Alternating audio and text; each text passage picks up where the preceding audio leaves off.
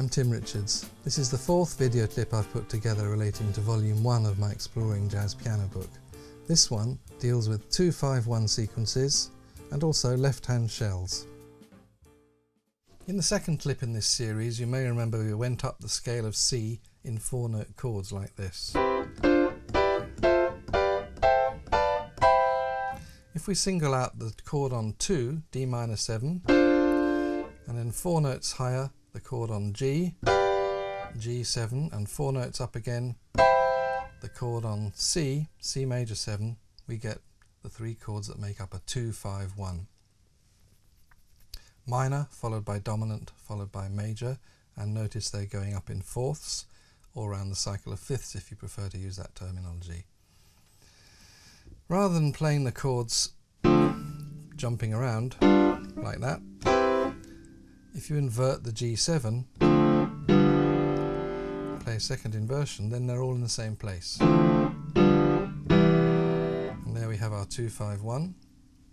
If you play each chord for a bar, that makes four bars because we're going to stay for two bars on the C major. We could also play C6 as our one chord.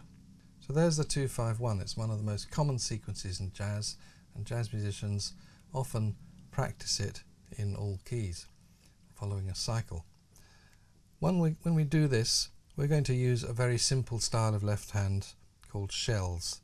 This is a style of piano left hand that was made popular by Bud Powell and Thelonious Monk in the 40s and 50s and it consists of playing the outside notes of the chord so for E minor 7 we just play the root and seventh now sometimes, instead of going down to A7 like that, you might play A7 as a root and third. And then back to root and seventh for D major. So, so that's just those notes, or D6 like this. So stringing that together.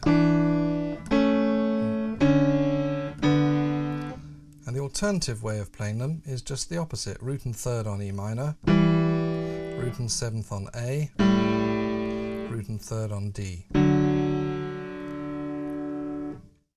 We're going to explore vertical improvisation around these chords with shells in the left hand. To make this work well, you have to try to connect the arpeggios of the chords as smoothly as possible, preferably by step. A step meaning a half tone or a, or a whole tone. So here's an example, just using root position arpeggios with shells in the left hand.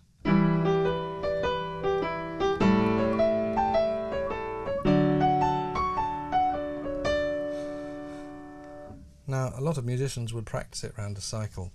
So the next chord would be D minor 7 to G7, finishing on C.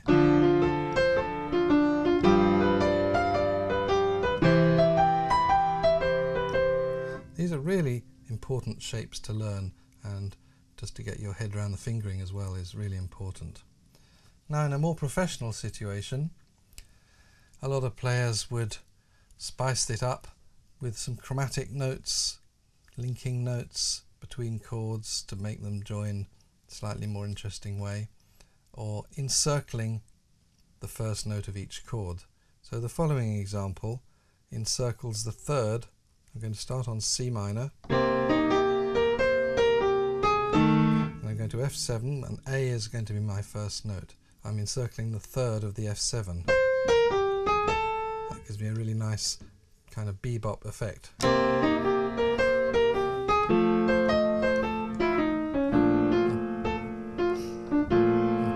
Again.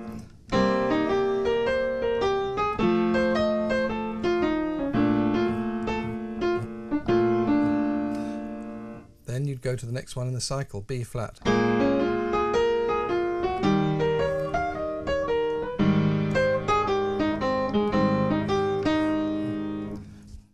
So the track 251 arpeggio workout gives you an opportunity to practice all these arpeggios and chord shapes with uh, the backing track.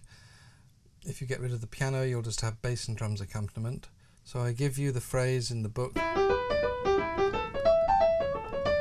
Then there's four bars where you can either repeat it or you can play your own phrase. If you get rid of the piano, of course you're on your own, you can improvise as you like. So this is going to be using two different cycles, the one starting on E minor and the one starting on A minor, three keys in each cycle. That gives you the chance to play these important sequences over the six most common keys that you really do need to know.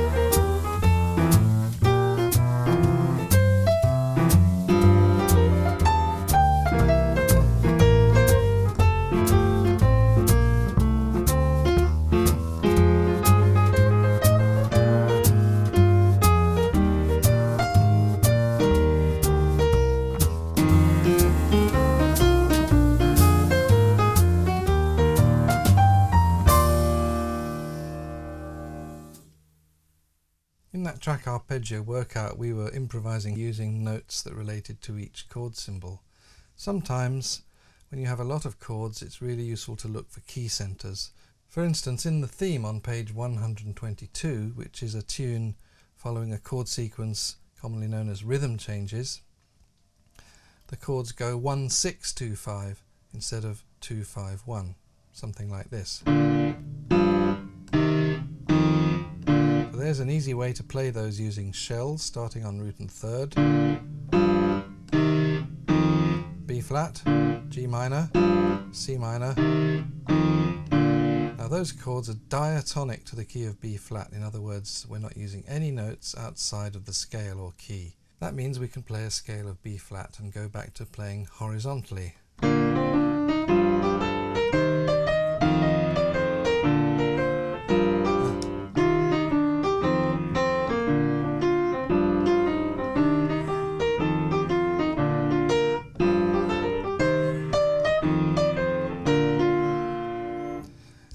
Doing that kind of thing in triplets. And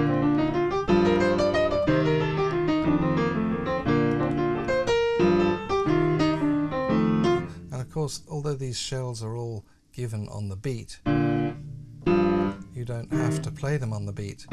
As in arpeggio workout, you'll notice I was varying the rhythm of the left hand as well. So that's part of the whole improvisational process. You're not just playing the chords on the first beat of every bar, they're interacting with the right hand.